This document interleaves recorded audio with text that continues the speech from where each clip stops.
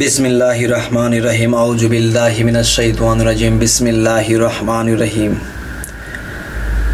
আজ মুসলমানের মধ্যে যারা আছেন, তারা হয়তো ভাববেন যে তিনি বিসমিল্লাহ রহমান রহিম বলল, এরপর আউজুবিল্লাহ মিনাশাইতান রাহিম বলল, এরপরে তিনি বললেন বিসমিল্লাহ রহমান রহিম এটা আবার কেমন?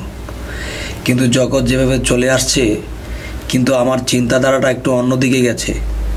অনেকে এরকম কথা কমেন্টের মধ্যে বলে থাকে, আপনি আগেরটা পরে বলেন, পরেরটা আগে বলেন কেন? আমার জ্ঞানে ধরেছে কি, যে বিসমিল্লাহ রহমান রহিম মানে বিসমে আল্লাহ, বিসমিল্লার ভিতরে আল্লাহ নিহিত। তাই আমি বিসমিল্লাহ রহমান রহিম আরম্ভ করিতেছি। এই আরম্ভ শুরুতে আমি আল্লাহর নাম নিলাম, বিসমে আল্লাহ, বিসমিল্লার মধ্যে আল্লাহ নিহিত, আল্লাহর নাম নিহিত। তাই আমি এই নামটা আগে নিলাম। তো মধ্যখান দিয়ে কি বললাম? যে আউজুবিল্লাহ হিমিনা শৈতান রাজিম। যে বিতাড়িত শয়তান থেকে তুমি আল্লাহ আমায় হেফাজত করো। তাহলে বোঝা গেল আমি শয়তানের নামটা আগে নিতে হতো। আমি সর্বপ্রথমে আল্লাহর নাম নিলাম, এরপরে শয়তানের থেকে আমি আল্লাহর কাছে পানা চাইলাম যে শয়তান হইতে আমায় রক্ষা করো। এরপরে আবার বললাম বিসমিল্লাহ রহমান রাহিম। তার মানে শয়তানকে আমি আগে তার নামটা নিলাম না। অবশ্যই বুঝেছেন, আর যারা বুঝেছেন এরকম আর কমেন্ট করবেন না দয়া করে। তো এখন আমি দর্শকদের সামনে যে কবির ভাষায় যে সৃষ্টিতত্ত্ব নিয়ে আসলাম, যে সৃষ্টিতত্ত্ব নিয়ে কিছু আলোচনা করব।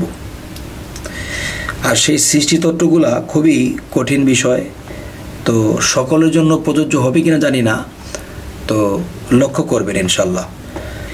জিরু থেকে হিরু হইস স্রষ্টা গুরু আমায় দিয়া, জমিনে হই আমি জিরু, তুমি জিরু, আকাশ লইয়া। ধরার দেশে থাকে জিরু, অধরায় স্রষ্টা জিরু, জিরুর ভিতর অধর জিরু, ফাটলো জিরু একক হইয়া। আবার বলছি, জিরু থেকে হিরু হইস স্রষ্টা গুরু আমায় দিয়া, জমিনে হই আমি জিরু, তুমি জিরু, আকাশ লইয়া। ধরার দেশে থাকে জিরু অধরায় স্রষ্টা জিরু, জিরুর ভিতর অধর জিরু, ফাটলো জিরু একক হইয়া। জিরু চন্দ্র, জিরু সূর্য, সৃষ্টি স্রষ্টার কি আশ্চর্য, গুণে বড় সেই নক্ষত্র, মিশল জিরু যাতে যাইয়া। জিরু চন্দ্র, জিরু সূর্য, সৃষ্টি স্রষ্টার কি আশ্চর্য, গুণে বড় সেই নক্ষত্র, মিশলু জিরু যাতে যাইয়া। জিরু জিরু, মহাজিরু, এর বাহিরে খুঁজলে জিরু, সৃষ্টির মাঝে মিশছে হিরু, স্রষ্টা নামটি ধরিয়া। জিরু জিরু, মহাজিরু, এর বাহিরে খুঁজলে জিরু, সৃষ্টির মাঝে মিশছে হিরু, স্রষ্টা নামটি ধরিয়া। সকল সৃষ্টির স্রষ্টা গুরু, জিরু থেকেই সৃষ্টি শুরু, অস্তিত্ব কি ছিল স্রষ্টার? ছিল স্বরূপ সেই কায়া।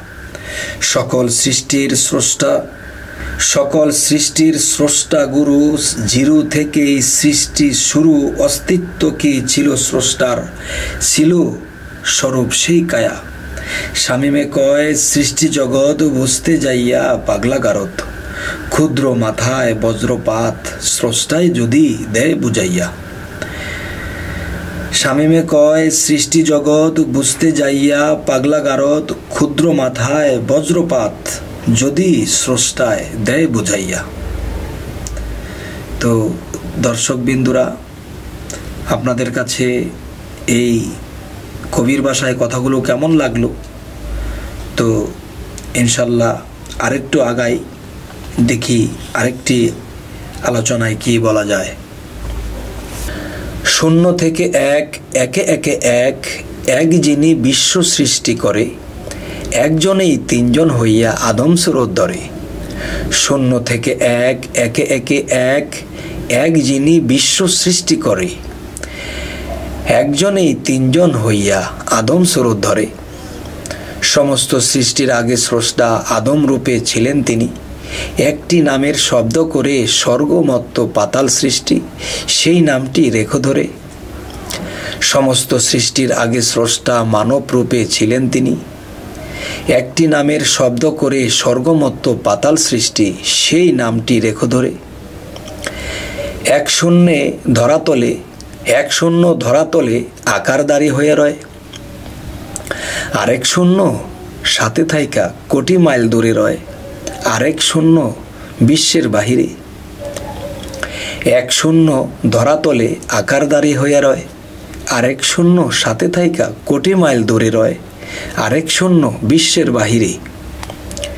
একজনে তিনজন হইয়া যে সৃষ্টি যেখানে লাগে, সমস্ত সৃষ্টি করবেন তিনি। প্রোগ্রাম করা ছিল আগে, কোন শব্দে সৃষ্টি করে? একজনে তিনজন হইয়া যে সৃষ্টি যেখানে লাগে, সমস্ত সৃষ্টি করবেন তিনি। প্রোগ্রাম করা ছিল আগে, কোন শব্দে সৃষ্টি করে? এক শূন্য দেহের সৃষ্টি করে যাচ্ছে এ দরায় আরেক শূন্য শূন্য থেকে বাহির ভিতর সৃষ্টি তরায়। কোন শূন্য রয় বাহিরে? এক শূন্য দেহের সৃষ্টি করে যাচ্ছে এ দরায় আরেক শূন্য শূন্য থেকে বাহির ভিতর সৃষ্টি তরায়। কোন শূন্য রয় বাহিরে? স্বামীমে কয় ধরাতলে কি যন্ত্রণা রইয়াছে? যে শূন্য বাহিরে রয়, সাধকগণে মিশতেছে, সেই শূন্যে মিশতে চাইরে স্বামীমে কয় ধরাতলে কি যন্ত্রণা রইয়াছে? যে শূন্য বাহিরে রয়, সাধকগণে মিশতেছে, সেই শূন্যে মিশতে চাইরে এখন আরও একটি কবির ভাষায় আলোচনা নিয়ে আসলাম। সেটিও সৃষ্টিতত্ত্ব। কিন্তু এই সৃষ্টিতত্ত্বগুলো বুঝতে গেলে একটু কঠিন হয়, তবে তীক্ষ্ণ জ্ঞানে যারা বোঝার চেষ্টা করে, ইনশাল্লাহ বুঝে নেবে। তো আরেকটি আলোচনার মাধ্যমে বলছি, ইনশাল্লাহ। অনুশব্দে ক্ষুদ্র বস্তু চোখে নাহি পড়ে, খণ্ড করে পাঠাইলা জীবের ঘরে ঘরে। অনুশব্দে ক্ষুদ্র বস্তু চোখে নাহি পড়ে, খণ্ড করে পাঠাইলা জীবের ঘরে ঘরে পঞ্চম খণ্ডে পরমাণু জীবের ঘরে হয় জীবাণু। জীবের মিলন ঘটায় অনু খসে পড়ে ছিচল্লিশ লক্ষ অনু সৃষ্টি আর জন্মান্তরে। পঞ্চম খণ্ডে পরমাণু জীবের ঘরে হয় জীবাণু।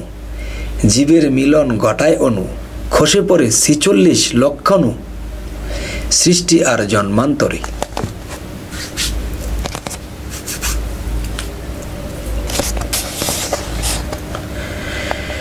বিজ্ঞান রিচার্জ করে যায়, সাধু নিজে দেখতে পায়, সাধুর বাক্যে বলে যায়, বিজ্ঞান তাহা খুঁজে পায়, সাধুজনা বলতে পারে।